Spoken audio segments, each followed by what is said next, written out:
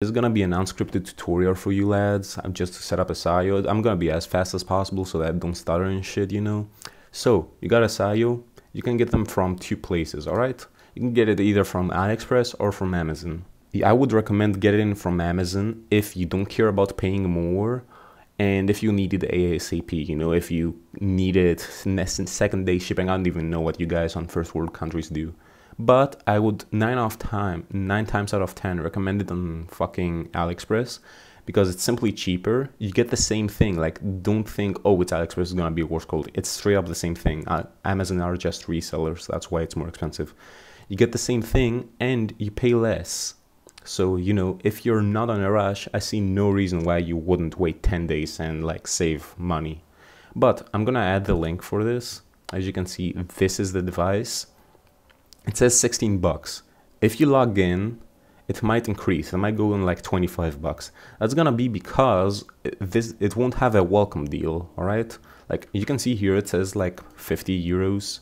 It never goes on 50 euros, but it's definitely gonna be at like 25. So right now, I'm 100% not telling you to not make a new account when ordering just for the Sayo device. I'm not telling you to go into signing in, connecting a different Google account and straight up getting a welcome deal and buying a site. Like I personally got mine for 13 bucks, but I'm not telling you to do that, all right? Please don't make a new account to save money. Why would you do that? Like why would you want to save money? Anyways, you order your Sayo. I do not have like camera on to show the stuff, but you're gonna get it on a box, and the box is gonna have the Sayo device itself and the USB-C to USB-A cable. So after you get that connected to your PC, I do not recommend connecting it on the front of your PC, you know, like the little USB slots there. I always connect it on the back of your PC because you're simply gonna have less delay like that. And after you do that, just you straight up open on Chrome, by the way. This doesn't work on Firefox, just putting this out. I don't know why, but it doesn't work on Firefox. But you're gonna, what we're gonna do now is connect drivers.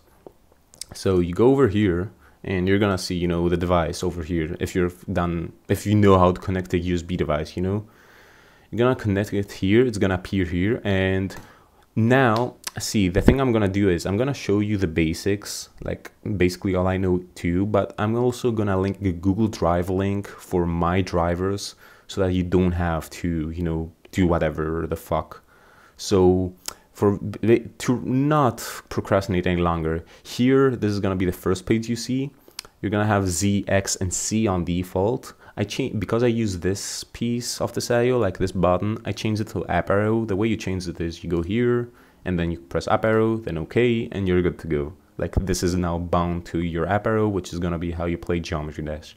The second thing I'm gonna show you is how to change your image. You know how the Sayo device has a little screen over there. You go over here on the left, you go on images. This is a history of all the images I've used for my Sayo. Please don't judge anything. To add your own image, obviously you know you have to gonna you're gonna have to set up your own resolution you're gonna press here to upload it, not this. You're gonna press this upload button. Then you're gonna select your image and it's gonna load over here. Like, let me put an example. I don't even know. What image is this? Sure, whatever. See, it appears here. You can crop it if your resolution wasn't perfect. And you press on upload and it's gonna be appear here. And you're gonna have it on like, you know, the drivers, like ready to be selected. The way you're gonna set your images, you're gonna go on screen over here later you're gonna go with the profile you set up, so it's probably gonna be one of these. And then over here, it's gonna probably gonna say something different, maybe widget, I don't remember what it said on default.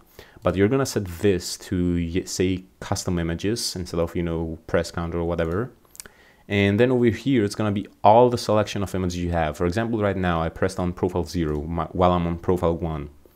So what you do is just select any fucking image you like, and it's gonna change like literally as soon as you do it as soon as you press it I do not do not change too many images at a fast procession in a fast way, you know, because it might freeze and then you're gonna have to disconnect and reconnect your Sayo. It's gonna fuck stuff up, whatever. So that's all the basics if you want to customize your own Sayo. And I'm saying customize because, as I said before, eh, I'm gonna give you guys my own drivers. Like right now, I'm gonna press on backup, select all, and confirm.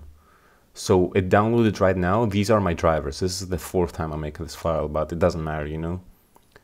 like straight up these are my third drivers i'm gonna upload this on drive and you're gonna if you want to obviously you can download this file then press on restore and enter this file and you're gonna have the exact same thing you see from me right now so that is all from the drivers part obviously you know you're gonna save later uh, but I think I covered everything. So let me just go on the, there's gonna be two parts. Like this was the driver's part. I'm gonna go on the hardware part. So be right back. All right, for the hardware part, basically, as you can see, this is my sale, hello. What you're gonna do, oh my God, my finger, I suck at this. So what you're gonna do is you're gonna hold down this button and you're gonna be on settings. You're gonna see back, language, display and button. You're gonna go over there on button, press, and then you're gonna calibrate. By calibrating, hold on, you, you're gonna move it like this, clockwork, again, and you're gonna want to calibrate the button you're gonna use. So basically, you press again, and you press the button all the way, not too hard though, don't like don't kill it. And you're pretty much done, this was all. Then for keystroke, hold on, I forgot what keystroke is for. Like hold on. Oh, oh yeah. Keystroke is the most important stuff. So what i want you guys to do is the, these are the settings. This you can experiment with this obviously. You can do whatever you want but this is all the settings i have for my sega device. I think it's very good. I think it's perfect basically but you can change them like release is how fast it's gonna release. Like as soon as you the device detects 20 millimeters of releasing it's gonna stop the input. So how you're gonna change release is it's kind of, I'm pretty bad showing. You're basically just gonna press and then you're gonna really do it with clockwork. This is on 20, all right? Like trigger is on 0 0.30.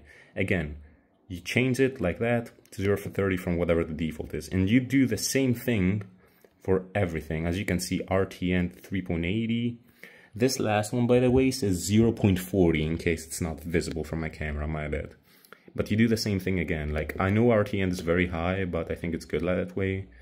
So again, you know, RTN, and you have to rotate it a lot. Like, be patient, all right? And after you're basically done, like the display, wait, which one does it say? Device. USB report rate, device info, you don't really care about that factory reset. You don't care about that. This was the tutorial for the buttons, you know, so that's basically all there was for the hardware. Like as soon as you set these up, you're gonna be good to go.